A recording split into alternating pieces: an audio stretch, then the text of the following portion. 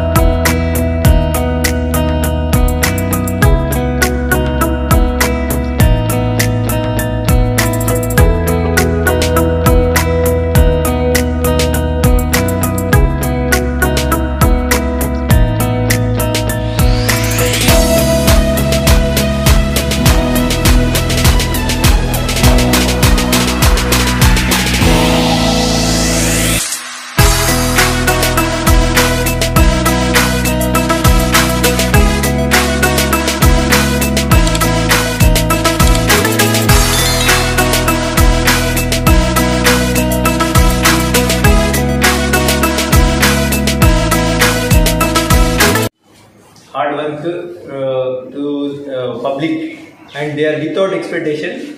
Any uh, purpose any amount they doing well to the society. They sometimes they sacrifice their personal life also.